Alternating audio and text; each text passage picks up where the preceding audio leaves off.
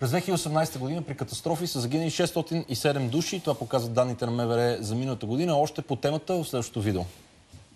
В сравнение с 2017 година жертвите на пътно-транспортни происшествия са намалели с 75 души, което прави с 11% по-малко загинали. За последните 5 години това е най-малкият брой на починали при или след катастрофа. Нарушения на шофьорите продължават да са основна причина за катастрофите. Според данните на МВР, близо 97% от инцидентите са причинени от тях. Пешеходците са виновни за по-малко от 1% от происшествията. Въпреки това, една пета от жертвите на пътя са именно пешеходци, като 115 души са загинали до края на ноември. Починалите при катастрофи деца през 2018 са 33, което е с 3 по-малко за същия период през 2017. Отчита се намаляване в броя на тежките катастрофи с 108, на загиналите с 49, а на ранените с 79. Най-смъртоносното място остава Пловдив, следвано от столична община и Варна. Илия Тодоров, юрист от Асоциацията на пострадалите при катастрофи, не гостува. Добре дошли. Здравейте. 30 км в града. Това ли е решението 80 на първокласни а, пътища да караме много бавно? Със, със сигурност не. Не е това решението и не е, не е решението да се правят промени на парче, както сме свикнали през последните години. Защо не, обаче? Не, защото а, за, да, за да постигнем по-малък брой пострадали и загинали при катастрофи, каквато е а, цялата цел, трябва да има цялостна концепция и приложимост на нормите, които се въвеждат. На а, строгите санкции, които се въвеждат, а, на а, това, когато се въвеждат определени ограничения, те да, те да бъдат приложими, да могат да се спазват наистина.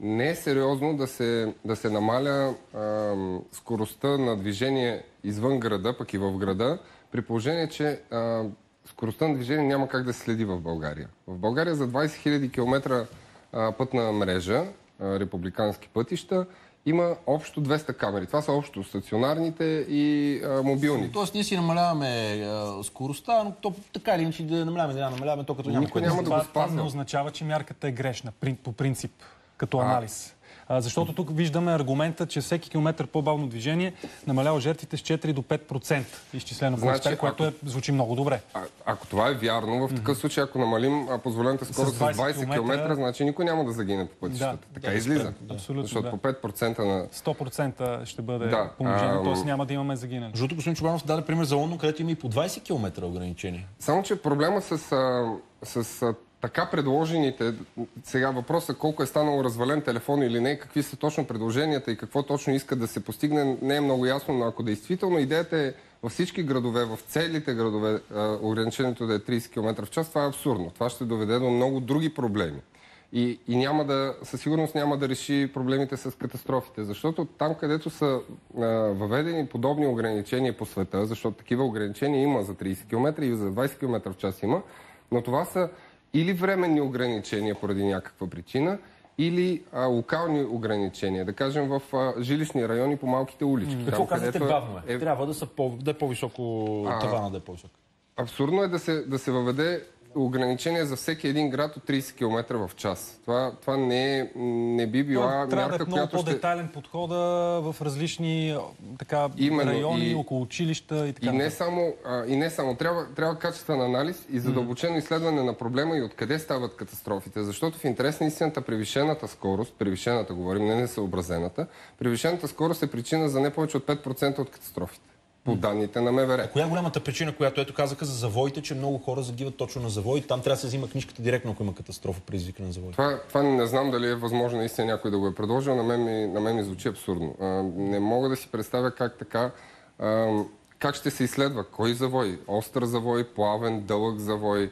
А, дали ако... Защото ако причината първоначално се приеме, че е несъобразена скорост, заради което кола е излязла от пътя на завой и е станало ПТП, да кажем само катастрофирал автомобил, а в последствие се окаже, че всъщност колата се е движила с, да кажем, 15 км в час в този завой и той е бил абсолютно обледен и автомобилът е Тоест излязъл... причината е в пътя.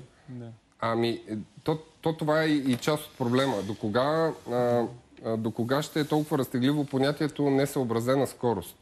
Защото, за да се изследват наистина причините за, за катастрофи, трябва а, трябва наистина детайлен подход и не може а, една скорост от 12 или 15 км в час да не е съобразена с пътната обстановка. Каква е тази пътна обстановка тогава? Казвате, пътя е изключително важен. Също, може би един последен въпрос, а, стегнато Блиц. А, повече време да се учим да караме кола. Книжките по-трудно се взимат. Добре. От асоциацията, от асоциацията на пострадали при катастрофи сме твърдо за това. И, и има смисъл в това да се увеличат часовете на кормуване, но с Важно е оговорката. качеството, нали? Не само е важно качеството, важно е и да се спазват наистина, защото и в момента има много сериозен сив сектор и дори тези 31 часа не се спазват. Масово се надписват часове, тъй като в момента а, бланката, с която се, а, всъщност се определя кой колко е карал, е едно парче картон. Не знам дали сте виждали скоро, но при въвеждане на, на систематизирана а, електронна система, която да не може да бъде заобиколена, тогава има смисъл да се увеличат. Тема с продължение. Много благодарим Илия Тодоров, юрист от Асоциацията на пострадалите при катастрофи. Каквито